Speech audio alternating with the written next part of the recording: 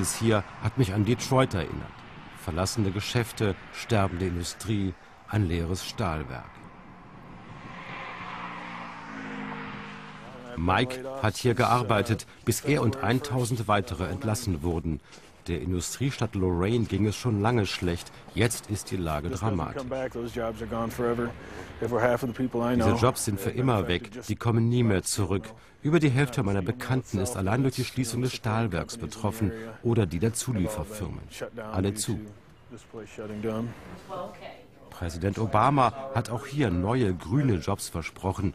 Doch sie alle haben schon keine Krankenversicherung mehr. Die Raten fürs Haus sind überfällig. Jede Nacht ist eine schlaflose Nacht. Ich habe zwei Kinder und meine Frau arbeitet so viel sie kann, um uns durchzubringen. Du bewirbst dich auf eine Stelle, aber da sind 400 weitere Bewerber. Es gibt schlicht keine Jobs. Und du machst trotzdem weiter und versuchst es.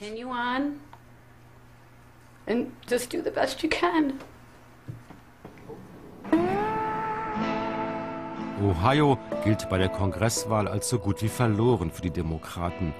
Den kleinen Salon teilten sich damals zwei vorher selbstständige Friseure. Arbeitslose sparen zuerst am Haarschnitt. Auch hier, die Krise hatte sie alle bitter gemacht. Obama war kein Hoffnungsträger mehr. Er redete immer sehr schön, meint Phyllis, aber er hat da nichts hingekriegt. Ich habe viel mehr erwartet. Sind Ihre Freunde auch enttäuscht? Oh, very much. Oh ja, yes. sehr. Almost everyone. Fast jeder. Yes. Goodwill, eine karitative Organisation. Firmen der Umgebung hatten früher Gelegenheitsaufträge erteilt, Jobs für 100 Hilfsarbeiter. Als wir filmten, reichten die Aufträge nur noch für ein Dutzend. Wie in einem Brennglas wurde hier Obamas größtes Problem deutlich. Amerika hat seine industrielle Basis verloren und damit viele Millionen Jobs für einfache Arbeiter. Und die, sagte schon Bill Clinton, kommen nie mehr zurück. Amerika stellt fast nichts mehr her. Container aus Asien bringen jetzt die Computer und Fernseher, die Navis und Rührmixer, ja selbst die Smartphones und E-Reader, die hier nur noch entwickelt wurden. Mit der Fertigung aber verloren die USA auch die Fachkräfte ein Teufelskreis. Zurück nach China vor allem gehen die Container dann leer oder beladen mit Altpapier, Metallschrott und Futtermitteln made in USA. Ohne Industriejobs aber, die die einfachen Arbeiter ernähren, wächst die Verbitterung bei denen, die an Obama glaubten. Einen von ihnen trafen wir hier. Charles, der aus Alabama flüchtete, um an der Westküste einen Job zu finden. Es war hart, der lange Weg durch die Staaten. Ein halbes Jahr waren wir unterwegs, um einen Job zu finden. Das ist mein Vater und das mein jüngerer Bruder. Ich habe auch eine Frau und ein junges Baby. Heute war ihre letzte Nacht in der billigen Absteige. Sie haben keinen Cent mehr. Davor haben sie monatelang zu fünft in ihrem alten Auto geschlafen. Um zu überleben, mussten sie auf der Straße betteln. Hier unsere Schilder. Fünfköpfige Familie mit Baby aus Alabama, gestrandet. Jede Hilfe willkommen. Gottes Segen. Und so haben wir dann Lebensmittel bekommen. Diese hier. Sie hatten Glück, gleich zweimal. Ein Sozialarbeiter sah die Bettelszene und verschaffte den arbeitslosen Glasern eine vorübergehende Unterkunft. Doch wie kamen sie überhaupt in diese Lage? Uh, ich glaube, unser Schicksal ist typisch. Wir haben all den langen Weg quer durchs Land Arbeit als Glaser gesucht, aber es gibt einfach keine, in den ganzen USA nicht. Da, so haben wir auch gebettelt, wie diese Frau. Wir standen wie sie in unseren Schildern an einer Kreuzung. Ich habe doch immer gearbeitet, meine Rechnungen bezahlt. Niemals hätte ich gedacht, ich würde so da stehen und andere um Hilfe anflehen. Ohne die Sozialwohnung, zu der sie jetzt fahren, hätten sie alle ab heute auf der Straße gesessen. Nach fast sechs Monaten hat die Familie jetzt zum ersten Mal ein festes Dach über dem Kopf. Aber wichtiger noch, sie können ihren Sohn behalten. Obdachlosen Eltern nehmen die Behörden hier ihre Kinder ab. Und seine Mutter ist wieder schwanger. Ich hätte nicht im Traum geglaubt, dass so etwas passiert. Ich dachte eher, ich würde meinen Sohn verlieren und auf der Straße leben, ohne Ausweg. Also, das ist ein Segen. Es ist wunderbar. Ein Segen.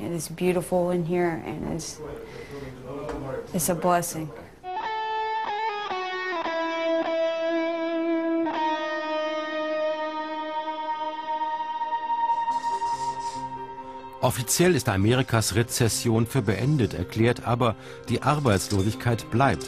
Die Zahl der Langzeitarbeitslosen hat Spitzenwerte erreicht. 40 Millionen Amerikaner sind schon von Nahrungshilfe abhängig. Die Arm-Reich-Schere erinnert an die einer Bananenrepublik. Ich kannte solche Bilder aus Russland. Sie hier gleich in Washingtons Vororten zu filmen, war ein Schock. Fünf Kartoffeln pro Kopf, das höre ich heute noch. Diese Leute hier hatten keinen amerikanischen Traum mehr. Obama hoffte, den Traum wiederzubeleben, langfristig. Energiewende, Investitionen in Bildung und Infrastruktur, doch seine Botschaften prallten ab an konservativen Reflexen. Weniger Staat, weniger Steuern. Das alte Erfolgsrezept für Amerikas Größe. Obamas Botschaften erreichen nicht die Herzen der Bürger. Ein Sheriff überwacht die Zwangsräumung eines Hauses. Die Immobilienkrise macht alles noch schlimmer in Obamas Amerika. Immer mehr Hausbesitzer können ihre Hypotheken nicht mehr bezahlen, die Hauspreise sind abgestürzt. Die Bauindustrie liegt am Boden, noch weniger Jobs. Geräumt wird oft Wochen nach Zahlungsverzug. Kreditkarte ausgereizt, Billigjob verloren, obdachlos. Mieterschutz ist ein Fremdwort. Wer keinen Schlafplatz auf der Couch bei Freunden findet, landet schnell auf der Straße in Amerika. Doch selbst da wird geräumt. Zwar freundlich, aber mit Nachdruck. Diese Bilder haben wir in Portland, Oregon gefilmt. Ich kenne ihre Situation nicht, aber ich glaube, das kann jedem passieren.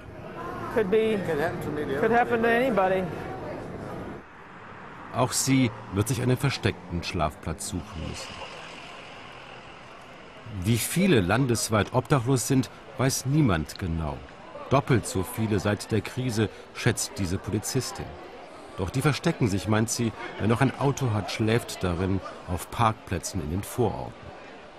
Einmal pro Woche bringen Freiwillige warmes Essen unter die Brücke und wie so oft bin ich von der Hilfsbereitschaft vieler Amerikaner beeindruckt. Hier gibt es einen kostenlosen Haarschnitt obwohl diese Kundin gar nicht obdachlos ist. Ich komme her, um meine Familie zu treffen. Meine Nichte und mein Neffe sind obdachlos. Und wie passierte das? Sie kamen aus Iowa her, sie hatten keinen Job, also auch kein Geld.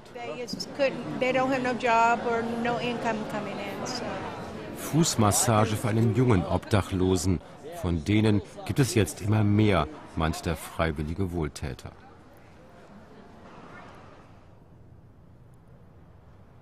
Medford, Oregon. Hier hatten wir Matt und Clinton gefunden, zwei obdachlose Jugendliche. Matt war neu in der Stadt, seine Familie lebt im Nachbarstaat. Clinton zeigt ihm einen besseren Schlafplatz, windgeschützt. Im Winter wird es ziemlich kalt hier im Nordwesten der USA. Wir baten die beiden, uns ihr Amerika zu zeigen. Ganze Gruppen von Jugendlichen schlafen in den Wäldern, erzählten sie uns, weil sie nachts aus der Stadt vertrieben werden. Dort warten tagsüber Freiwillige mit warmen Jacken und Essen auf die neue Generation von Obdachlosen. Es werden immer mehr, hören wir, die wie Matt auf der Straße leben. Die Wirtschaftskrise lässt Familien zerfallen. Arbeitslose Eltern verlieren ihre Häuser, flüchten zu den Großeltern, Spannungen, Alkohol das Übliche. Bei uns im Camp haben wir auch 12, 13-Jährige, 16-Jährige, die kommen vorbei und wir sagen denen los, nimm dir einen Schlafsack. Aber dort filmen? Nein, meint er, das ist doch eine Fluchtstätte für mindestens 15 von uns. Da lassen wir niemanden hin. Wir suchen mit einer Sozialarbeiterin nach den versteckten Lagern. Die Polizei tut das auch und vertreibt die Jugendlichen dann, darum die Angst vor Entdeckung. Erste Spuren, erst vorgestern ist hier ein Obdachloser nachts erfroren.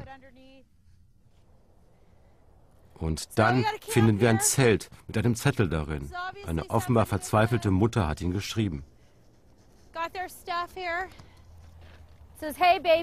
Da steht, hallo Babygirl, ich habe deinen Schlafplatz gefunden. Ich will dich nach Hause bringen.